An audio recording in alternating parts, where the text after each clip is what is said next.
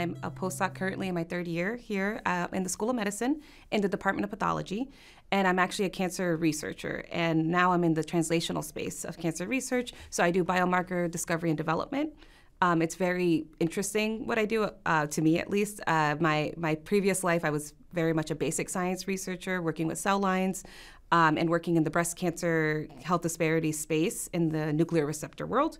Now I'm in this translational space, which generally is defined as bench to bedside. So I'm working with tissues from patients with can- with cancer, and just trying to find a better way to define who should and should not be receiving treatment. And really, my emphasis is on the should not. Um, right now, I focus with a cancer treatment type called cancer immunotherapy, which is this revolutionary type of cancer treatment that uses the body's immune system to fight cancers. Um, and it's incredible when it works. It works so, so well, but unfortunately, it doesn't always work. Um, and right now, I'm in uh, what's called the non small cell lung cancer um, space. So that's a particular type of lung cancer. And with this type, when patients receive immunotherapy, only one in five patients are actually responding. Um, and this is, it's generally pre, in the in its previous life, it was really given in later stage. So I'm talking in the in the later stages. Really, only 20% of patients who are receiving this treatment are receiving any, any benefit. And part of the reason for that is because what they use as the current biomarker is a particular protein called PDL1 and it's just not great. It's it's not the best. It's the best we have for now. So I'm working in a lot of different uh, modalities, um, and my colleagues are as well to try to find really anything that's better than that. Um, and I'm focusing on RNA and trying to find um, a way to define who should not be receiving the drug. So that's it's really exciting. I love the work that I'm doing here.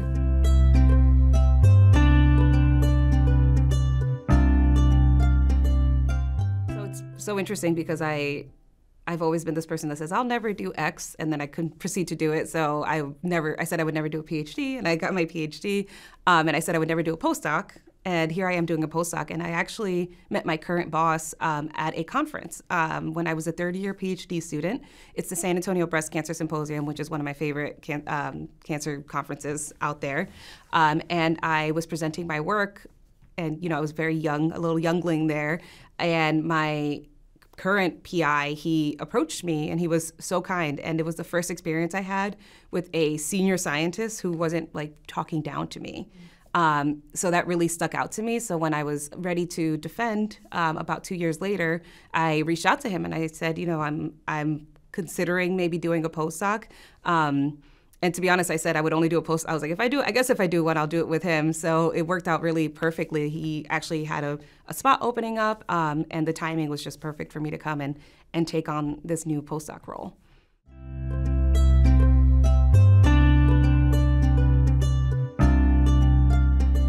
Yeah, I mean, I, I, have to highlight the Black Postdoc Association. Um, so I am one of the three co-founders of the Black Postdoc Association. Um, we started about six months after I started here.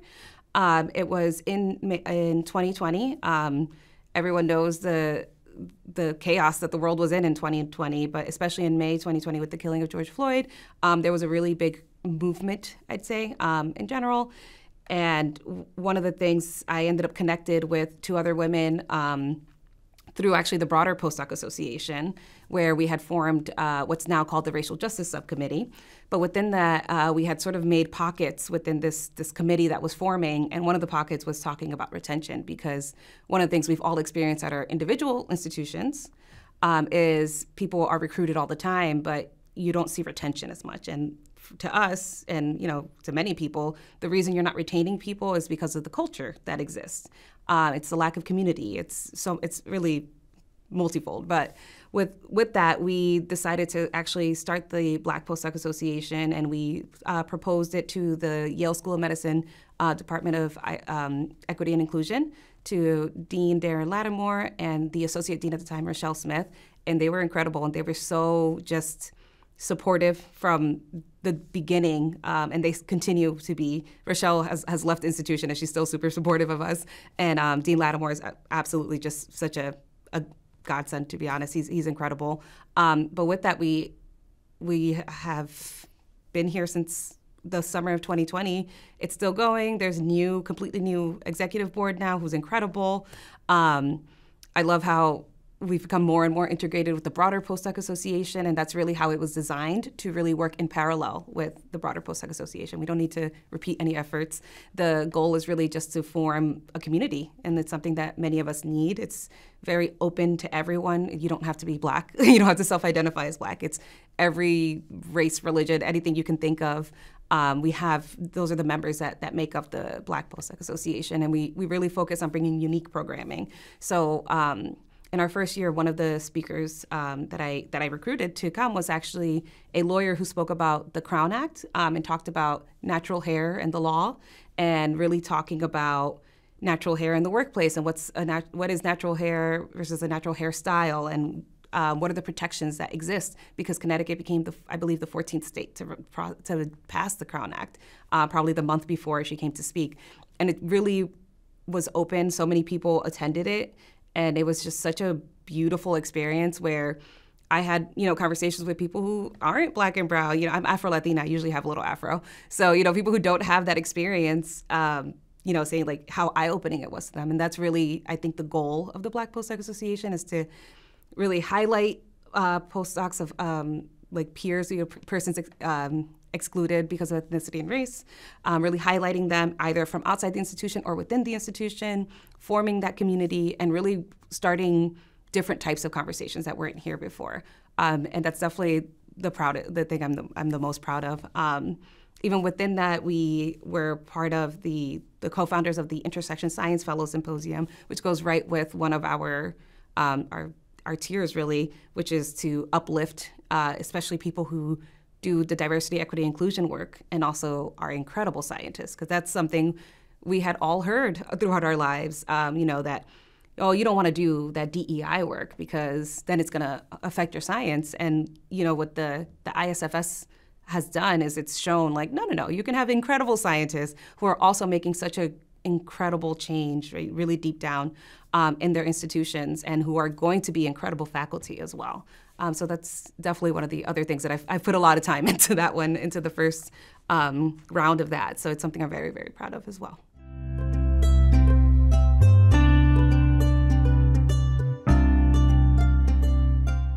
What Yale does really well is having that, that Office of Postdoc Affairs, and um, I, I will say the OPA has been really, really supportive, um, especially of the YPA, obviously, um, but also the Black Postdoc Association. And then I mentioned the uh, the School of Medicine Department of um, um Equity, Inclusion, Belonging. Um, they have also been just so supportive, and it was it's very refreshing uh, to step into a role as a postdoc where you're kind of this in between person. You're not faculty, you're not really a student anymore, but you kind of feel like a student because you just finished. Um, and with that, uh, just having really, I'll say adults who are just so supportive. And, you know, I feel like beyond just the Black Postdoc Association, anything I've ever like, anything I've ever proposed, I feel so much support from everyone. And that's, I think, very unique. Um, and like I said, it's from my limited experience and from hearing other people's stories. And I, I do wish that other institutions had these type of offices that existed that are just really there to uplift you um, and I think it sort of helps to take a little bit of the burden off when, when you're thinking about your postdoc and trying to thrive as a postdoc, which is more than just your science. Um, it's everything else that you need, all the all your career development you need. It's, it's, about thinking about your next step. So it's really nice to have all these resources. Um, there's also like the career services is, is, incredible here, and it's something I, I wish I had when I was younger uh, because I think it's been really instrumental in my in my next steps, at least thinking about my next steps.